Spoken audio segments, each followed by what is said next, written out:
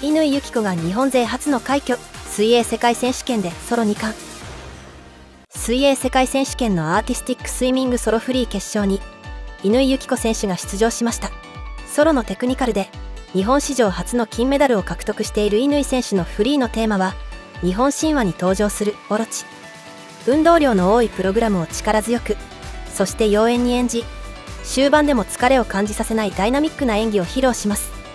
95点台の高得点で金メダルを獲得した乾選手はテクニカルに続きソロ2冠を達成。日本勢初の快挙を成し遂げました。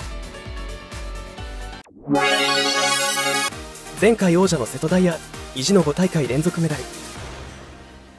競泳男子 200m の個人メドレー決勝に前回王者の瀬戸大也選手が登場しました。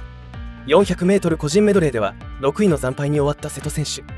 序盤のバタフライで出遅れるものの最後の自由形で追い上げを見せ3位でフィニッシュし銅メダルを獲得。タイムは1分56秒22でした。去年夏の東京オリンピックで結果を残せず悔しい思いをした瀬戸選手。世界選手権では5大会連続のメダル獲得となりました。競泳メダル第1号は東京オリンピック銀メダルの本多灯。200m バタフライで銅メダル。男子 200m バタフライの決勝に登場した本多灯選手。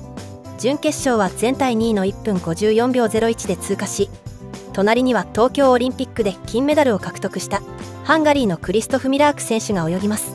スタートで一番反応の良かった本田選手は得意の後半に力を温存します。最後 150m のターンですでにミラーク選手は2位以下の選手に体2つ分程度の差を開ける独走状態。